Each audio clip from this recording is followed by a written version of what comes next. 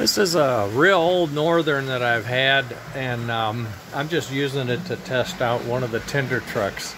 I've got a four-wheel tender truck on here with the new spacing and direct wiring. And, oh, it ran off for some reason. It ran off the track. There it goes. That should have taken that rear truck off maybe. I don't know. Gets a little bouncy. But the tender is the, what I'm trying to test here. And it's doing pretty good. It's just an old tender with a lot of lead on it and a couple of boards. But the truck that's on it is a all new 3D printed um, four wheel tender truck the design I've had before and I've refined it.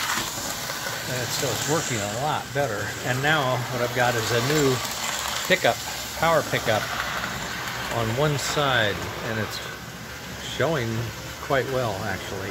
I tested it on the rollers first, then I brought it over here.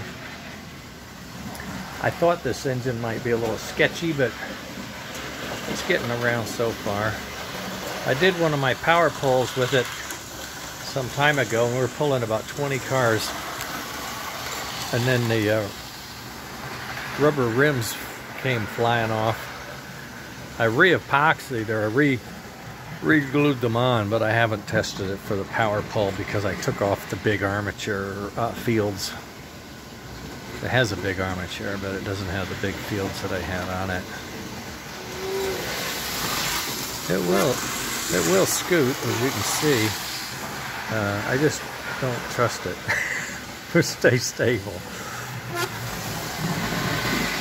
Oh, this engine's very scary. It was scary.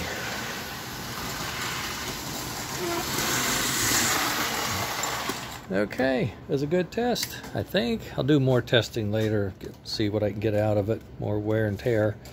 Uh, but I'm pretty optimistic. Now I'm going to go back and fix up my six wheel trucks and um, get that part done. Okay.